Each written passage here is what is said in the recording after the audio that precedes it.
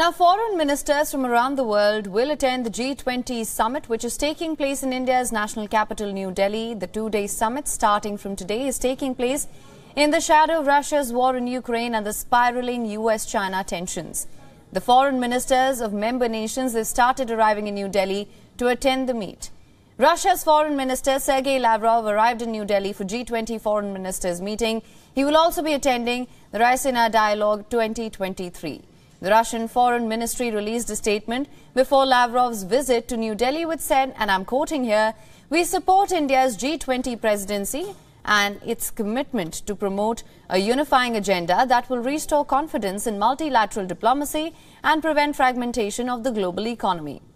U.S. Secretary of State Antony Blinken will be reaching New Delhi later today as well. According to U.S. top officials, Blinken will underscore the damage that Russia's war of aggression has caused and further urged nations to redouble calls for Russia to end the war. Besides Lavrov, the United Nations Department of Economic and Social Affairs Under Secretary has also arrived in New Delhi. Taking to Twitter, the Indian Ministry of External Affairs spokesperson Arindam Bagchi said that the arrivals for the first G20 India Foreign Ministers meeting have begun. Indian External Affairs Minister Dr. S. Shankar also announced the arrival of Turkey's Foreign Minister to India. Both the ministers discussed bilateral relations on the sidelines of the G20 foreign ministers meeting. Taking to Twitter, Turkish foreign minister said that he met with India's external affairs minister and had thanked him for Operation Dost, which is the search and rescue operation initiated by India for the earthquake hit Turkey and Syria. A meeting of foreign ministers of the Quad countries, that is the United States, India, Australia and Japan is also scheduled to be held on the sidelines of the G20 foreign ministers meet.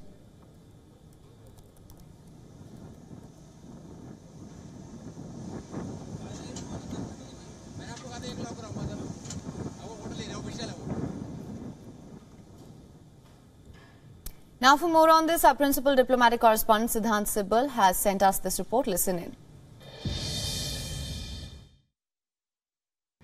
Delhi from today will be the global diplomatic capital for two days as the foreign ministers of the 20 countries who are part of the G20 grouping will take part in the foreign ministers meeting. Now, India has also invited other countries as well and focus will be reforming of multilateral institutions like the UN, counter-terrorism, global scale mapping, development cooperation, food uh, and security issues as well. But essentially, we know that uh, the Russia-Ukraine conflict is going to dominate the agenda. We know that uh, at the finance ministers meeting in Bangalore, there was no joint communique because of the divide between West and Russia, supported by China over certain paragraphs. And India issued uh, a chair a statement. Now, uh, we know that India plays an important part as a host of the grouping, and it's up to India how it is able to bridge the divide between the two sides. But essentially, India will be also being uh, the voice uh, of the global south, uh, will focus on how issues and out uh, impacts of the conflict like price rise can be discussed and raised and perhaps a solution can be provided on them with video journalist Chandrasekhar Siddhant Sibal for WION in New Delhi.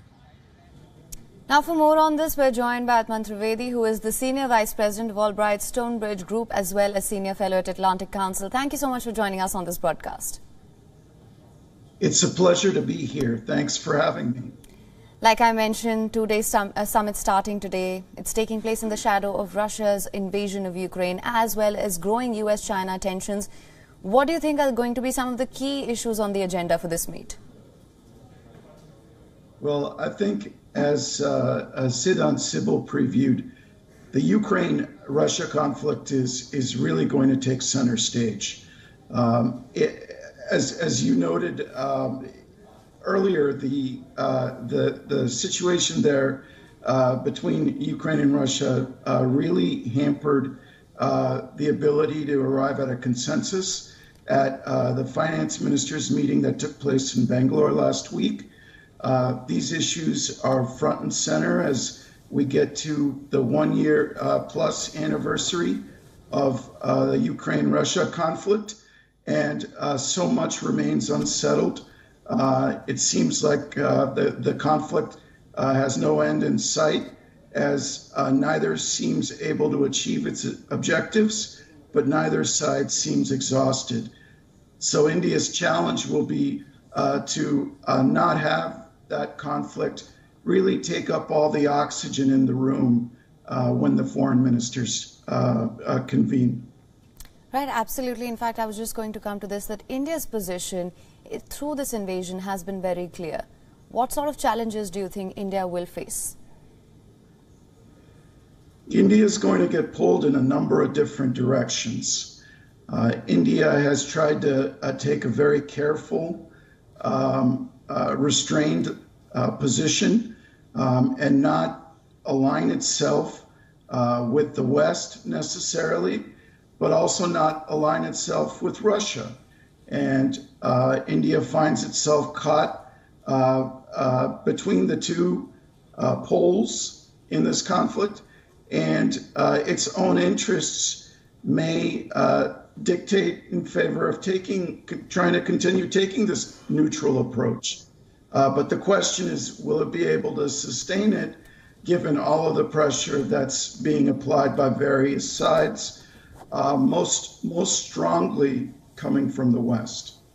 Right, absolutely. And of course, I mentioned this earlier. Meeting of foreign ministers of the Quad countries is also expected to take place on the sidelines. What are some of the other global issues that are likely to feature in these discussions?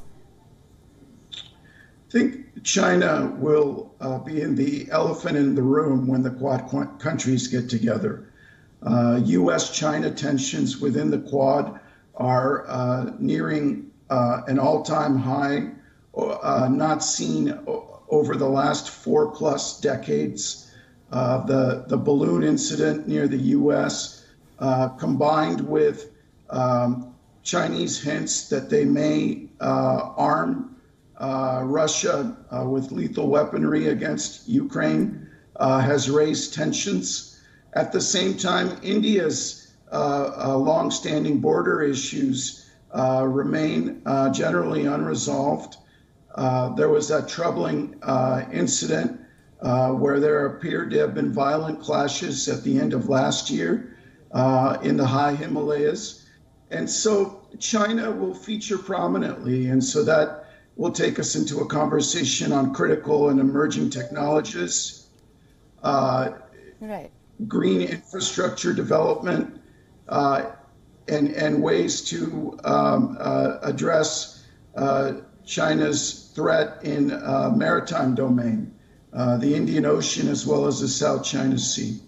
Right. Mr. Atman thank you so much for joining us on this broadcast with all your insights on this. It's a pleasure to be here. Thanks for having me. WION is now available in your country. Download the app now. Get all the news on the move.